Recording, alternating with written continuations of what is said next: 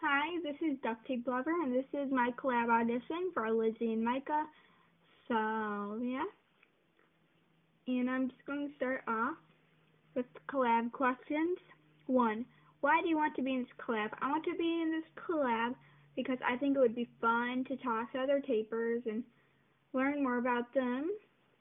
Two, when did you start duct tape? I started December 2012. Three, your best and worst wallets. My worst wallet is a Gummy Bears wallet. Because, well, it's just normally bad, but whatever. First, if you see this, uh, hold on, let me see my camera will focus.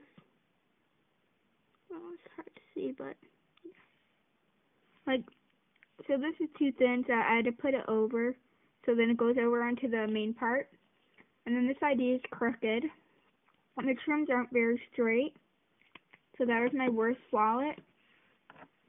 My best wallet is this peacock wallet with teal, orange credit card pockets and teal trim.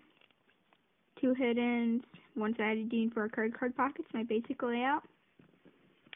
And then for my best design is this Kuma wallet. I think that is how you pronounce it. This. I don't do designs much because